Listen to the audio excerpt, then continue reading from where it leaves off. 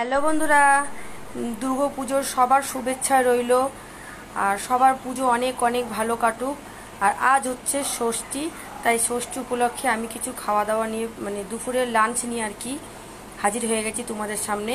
তো কি কি আছে আমার লাঞ্চে চলো তোমাদেরকে আগে একটু দেখিয়ে দিই। বেশি কিছু নিইনি, অল্প কিছুই নিয়েছি, তো সেটুকুনি তোমাদের সঙ্গে আমি শেয়ার করব। দেখো, এখানে কিন্তু অনেকটা পরিমাণে ভাত আছে, আর আমি কলা পাতায় ভাতটা নিয়েছি। আছে একটা কাঁচা লঙ্কা আছে এখানে শাক ভাজা আর আছে এখানে আলু ভাজা। আমি পাতে একটু লবণ খাই, তাই লবণ নিয়ে নিয়েছি। আছে এখানে পাতি লেবু আর আছে এখানে হচ্ছে ইলিশ মাছের মাথা দিয়ে মুগের ডাল, আলু বেগুন দিয়ে ইলিশ মাছের পাতলা ঝোল আর এখানে আছে ইলিশ মাছের পাতুরি কলা পাতায়। কলা পাতায় মোড়ানো, এটা হচ্ছে ইলিশ মাছের পাতুরি। দেখতে পাচ্ছ? এখানে নিচে এক গ্লাস জল। তো বন্ধুরা, এই হচ্ছে আমার খাওয়া দাওয়া আজকে। আর পুজো সবার ভালো কাটুক। সবাই অনেক অনেক আনন্দ করো, পুজোতে ভালো মন্দ খাও।